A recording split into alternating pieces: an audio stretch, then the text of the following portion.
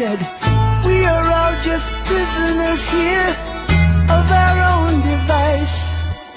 And in the master's chambers, they gathered for the feast. They stab it with their steely knives, but they just can't